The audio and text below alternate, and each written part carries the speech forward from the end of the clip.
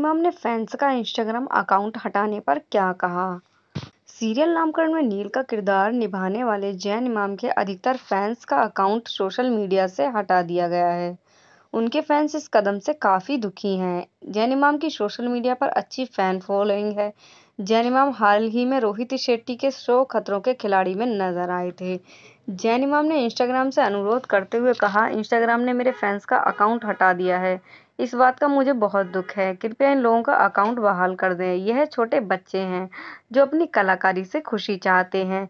Pink villa से बातचीत के दौरान जैन इमाम से पिंक विला ने पूछा कि खतरों के खिलाड़ी से आपने क्या सीखा? इस पर जैन इमाम का जवाब था कि हमने अपने दिमाग और शरीर पर संतुलन पाना सीखा है। जब मुझे खतरों के खिलाड़ी के लिए संपर्क किया गया तो मैंने कहा था, थोड़े से पैसे ज़रूर कम देना, लेकिन मैं कर लूँगा।